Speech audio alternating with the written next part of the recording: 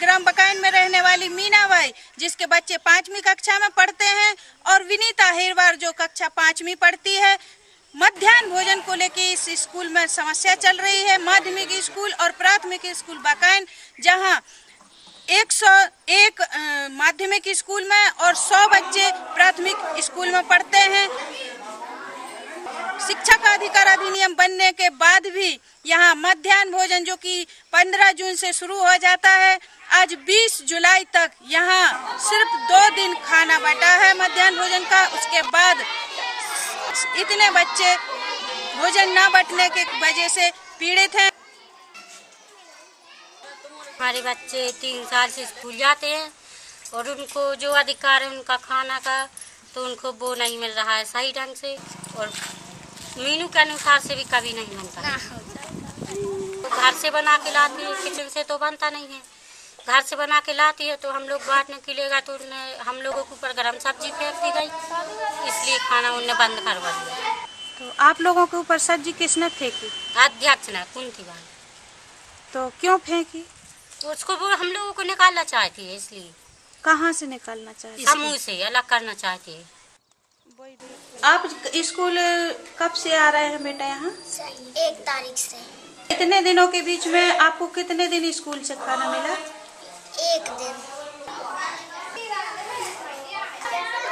आपके स्कूल में प्रधान आचार्य जो मास्टर होता है हेड मास्टर कौन है? सर। तो आप लोगों ने कभी उनसे शिकायत की? हाँ की है तो वो बोलता है कि नहीं जैसा है सो रहना तो हमें कोई मतलब नहीं है इससे। उसका बर्ताव भी अच्छा नहीं है। और कई लड़कियों से कहूँ भैंसिया कहूँ कछू बोलता है लंगड़ी लूली और उसका बर्ताव बिल्कुल अच्छा नहीं है। सर बच्चों के प्रति आपका क्या व्यवहार हुआ? है अपने बच्चों के जैसा व्यवहार है उनसे कोई प्रकार के दुर्व्यवहार नहीं किया जाए और जो लोग अगर शिकायत करते हैं तो उनका क्या है? आप क्या सुनते हैं? शिकायत करने वाले का मुँह है वो कीर्ति से कुछ भी बोल सकता है।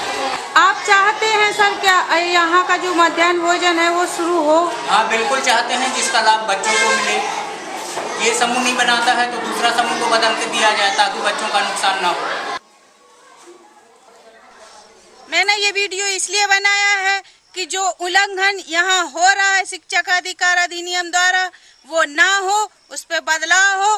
बदलाव के लिए जो हमारे क्षेत्र ब्लॉक बटियागढ़ की कार्यपालन अधिकारी महोदया जी हैं, वो हैं श्रीमती रानू जैन जी, जिनका फ़ोन नंबर है संतानवे तिरपन ज़ीरो सात ज़ीरो दो बाईस। देखने वाले सभी श्रोताओं से मेरी अपील है कि बदलाव के लिए फ़ोन करें और अपना दबाव बनाएँ।